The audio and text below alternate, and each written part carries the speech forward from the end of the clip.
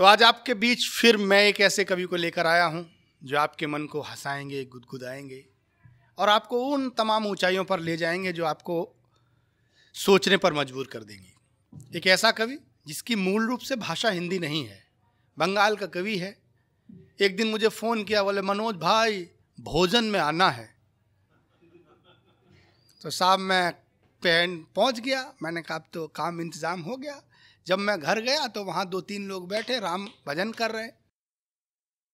मैं निकला, मैंने कहा, भाई साहब। मैं देखा, अब मिले अब मिले अब मिले। जब दस बज गए, कोई इंतज़ाम नहीं हुआ तो मैंने कहा, भाई साहब, आपने तो भोजन पे बुलाया था। बोले, भोजन नहीं, भोजन?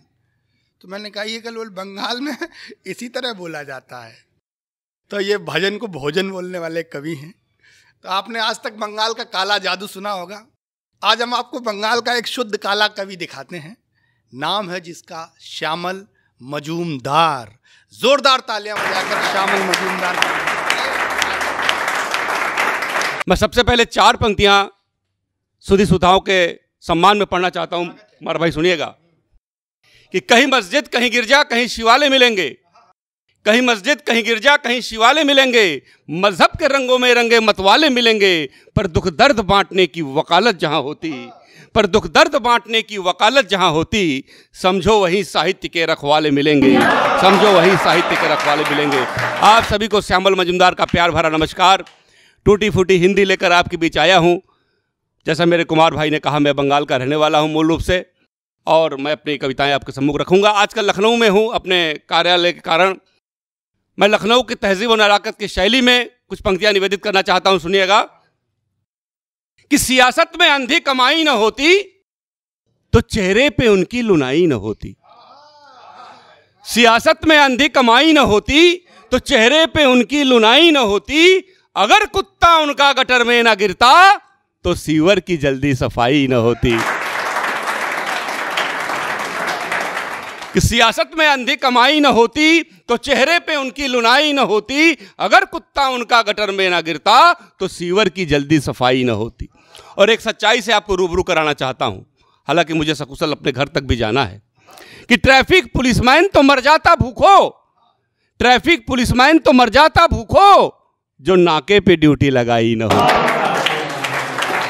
जो पड़ोसन के घर में कनेक्शन न होता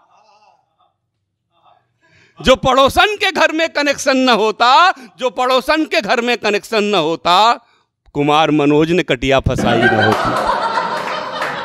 लेकिन मित्रों, हँसते हंसाते कुछ संजीदा बात भी कहने की स्थिति में हूँ मैं। आज जो देश में स्थिति है, अभी आपने तमाम हैदराबाद के दृष्टांत आपके सम्मुख हैं। निर्भया का सम्मुख दृष्टांत है आपके पास। कुछ पंक्तियाँ निवेदित करना चाहता हूँ। एक छोटी सी बिटिया, लगभग सात साल की उसकी उम्र होगी। मेरे सामने आई मैंने बिटिया से पूछा, बिटिया, तुम्हारी इतनी जल्दी सगाई क्यों हो गई? वो मेरे तरफ़ अवाक दृष्टि से देखने लगी। तभी उसके पिताजी मेरे सामने आए। मैंने यही प्रश्न उनसे दोहराया। जो दर्द, जो व्यथा, जो वेदना उस पिता के चेहरे से परिलक्षित हुई, दो पंक्तियाँ निवेदित करना चाहता हूँ। कि जो गलियों में लुच्चे लफंगे ना होते, वो हैदराबाद के लोग, जिन्होंने यह कांड किया। जो गलियों में लुच्चे लफंगे ना होते, जो गलियों में लुच्चे लफंगे ना होते, यू कच्ची उम्र में सगाई ना होती। कौन नहीं चाहता बेटियों को पाले? बेटियाँ जब चहकती हैं, ये फूलों सी महकती हैं। निहित इनमें है दावा नल, ये अंतस से धधकती हैं। तो जो गलियों में लुच्चे लफंगे ना होते, यू कच्ची उम्र में सगाई ना होती, और पसीने की कीमत जो दुनिया समझती, पसीने की कीमत जो दुनिया समझती किसानों ने फांसी लगाई न होती। वैसी दरिंदे वैसी दरिंदे जो पाले न जाते, निठारी की घटना भी आई न होती, निठारी की घटना भी आई न होती, निठारी गई। आइए एक और कविता से जुड़, आपसे जोड़ना चाहता हूँ। मुद्दा है भ्रष्टाचार। हम लोग भ्रष्टाचार के बारे में बहुत कुछ कहते हैं, लेकिन भ्रष्टाचार की जो प्रवृत्ति है मनुष्य के अंदर उसको हम लोग समाप्त नहीं कर पा रहे हैं। और उसी के कारण ये सब, इस प्रवृत्ति का निराकरण जिस दिन हो जाएगा, जिस तरह से कि रावण का, आपके अंदर के अंदर के रावण को जिस दिन मार दिया जाएगा, उस दिन रावण दहन करने की आवश्यकता नहीं है।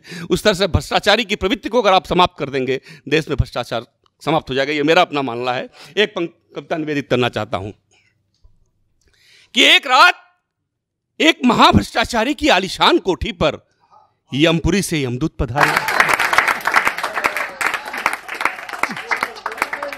एक रात एक महाभ्रष्टाचारी की आलिशान कोठी पर यमपुरी से यमदूत पधारे।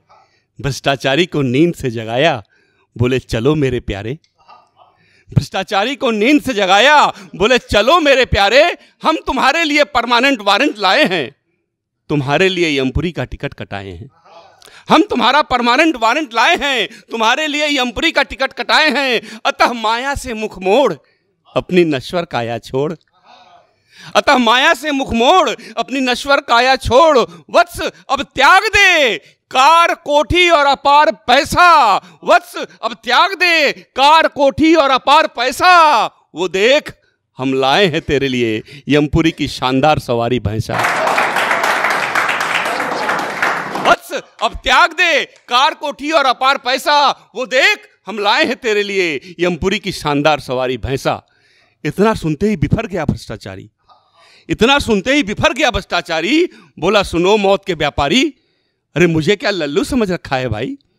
अरे, मुझे क्या लल्लू समझ रखा है भाई? मैंने भी Indian institute of corruption technology से है, पीएचडी की डिग्री हथियाई। अरे, मुझे क्या लल्लू समझ रखा है भाई? मैंने भी Indian institute of corruption technology से पीएचडी की डिग्री है हथियाई। अब मुद्दे पर आओ। वारंट हो तो दिखाओ। अब मुद्दे पर आओ। वारंट हो तो दिखाओ। अरे ब्लैंक चेक पर कितनी रकम लिख दूँ? जरा यह तो अब मुद्दे पर आओ, वारंट हो तो दिखाओ। ब्लैंक चेक पर कितनी रकम लिख दूँ? जरा यह तो बताओ। फिर मेरे जगह फिर स्टे ऑर्डर ले आना। फिर स्टे ऑर्डर ले आना। मेरी जगह किसी ईमानदार को पकड़ के ले फिर स्टे ऑर्डर ले आना।